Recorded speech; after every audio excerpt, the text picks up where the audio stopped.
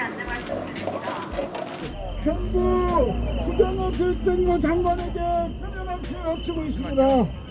그런데 이번에 이번에 추경이 반영됐다고 합니다.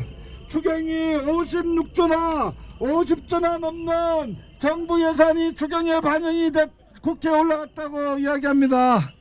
그런데 왜 장애인 권리 예산은 없습니까? 21년 동안 장애인들이 이동하지 못해서 피해받은 것은 피해가 아닙니까?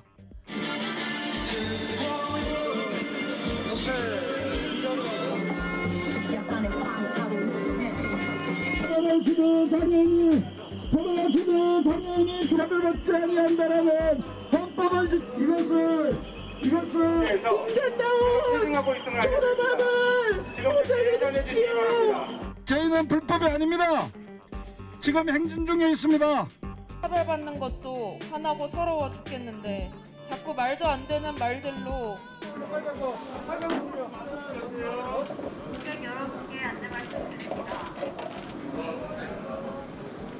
자, 뒤로 가세요.